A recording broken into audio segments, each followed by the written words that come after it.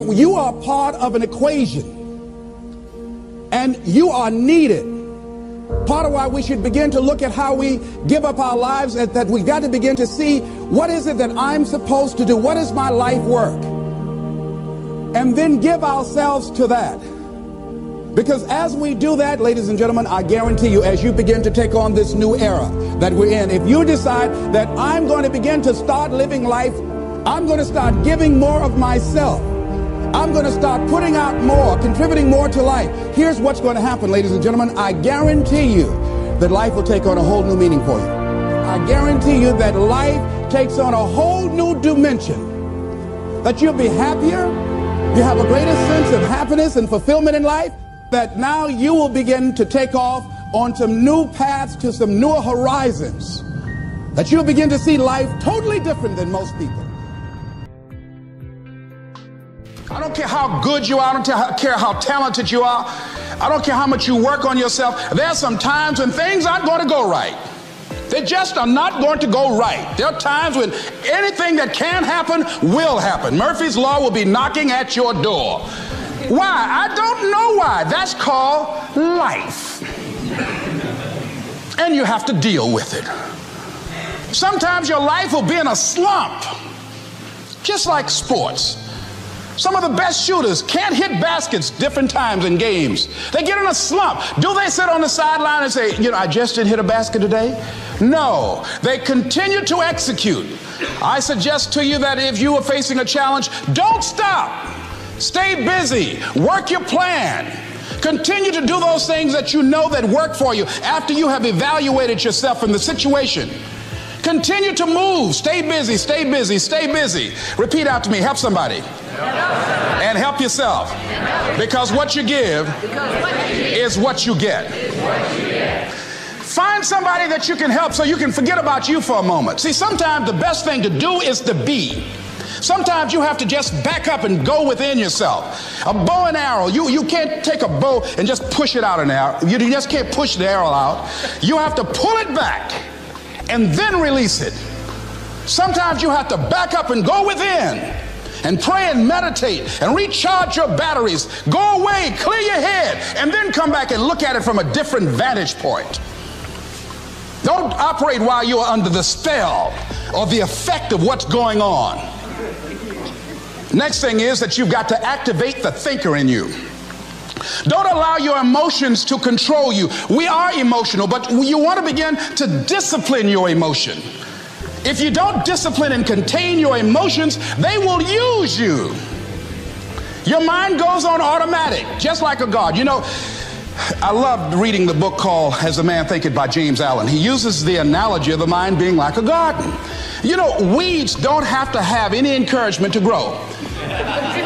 You don't have to water them. They don't have to get sunshine. They don't have to have fertile ground. They will grow through the cracks of a sidewalk. Am I right?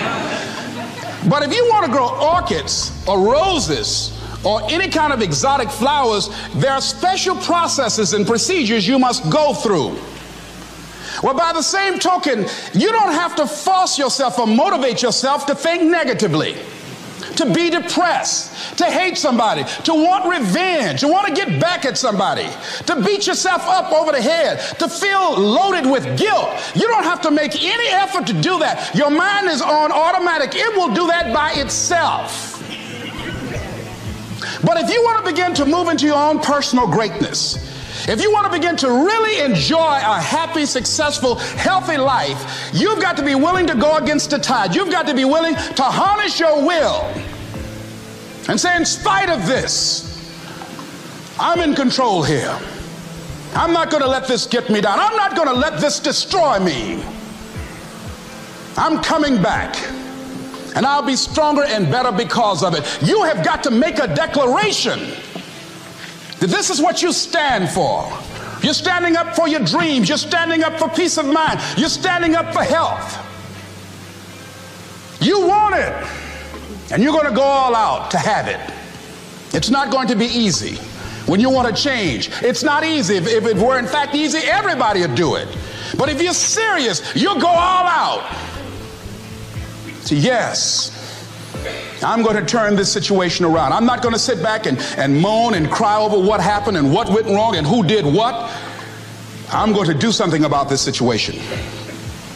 The next thing that is important is that expect things to get better for you because they are. See, life is cyclic.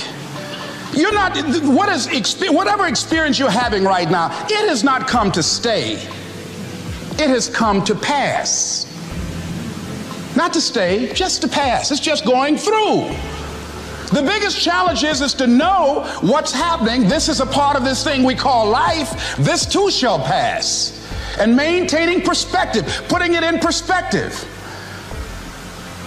I was doing a training at a college, and it was a two day training during orientation.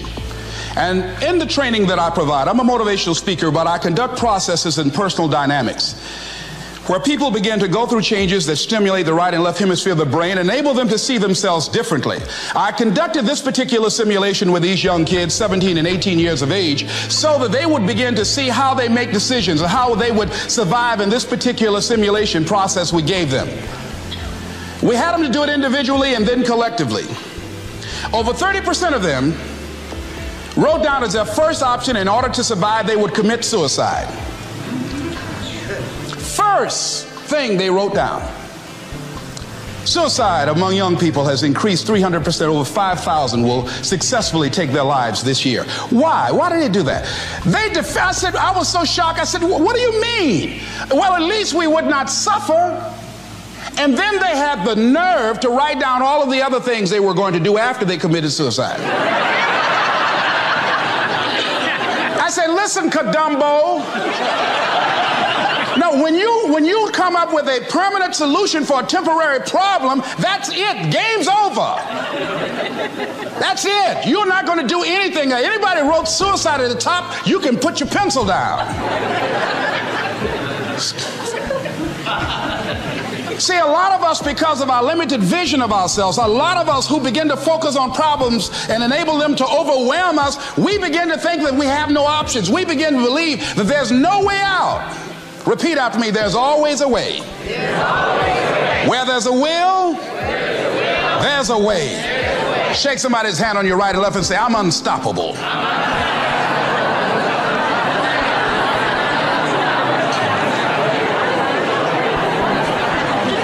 You've got to make those kind of declarations to yourself. I'm unstoppable. This will not get me down. And if I get knocked down, I'm going to be like um, Leo Pascal. You said you're going to have some low moments in life, but when you do, you will have high lows. when you work on yourself. What are some of those things that you can do during this period of time? Go for walks. Do some things for you. Just go for a stroll so you can engage in some reflective thinking on life, on yourself, looking and enjoying the universe, smelling the roses along the way. Listen to upbeat music, music that inspire you. I have only but goodies. I have strategies that I engage in to recharge my batteries. I'm preparing for that because I know things are going to happen that I cannot anticipate. Very good friend of mine died the other day. I had a program for myself. I have books that I read that inspire me, tapes that I listen to that fire me up. Because you're going to have sometimes low moments when you won't want to get out of bed. You just want to stay there. At times you won't want to come out the house. At times you'll be feeling bad and don't know why. What's wrong? I don't know. Just leave me alone. why did that happen? I don't know. It's called life.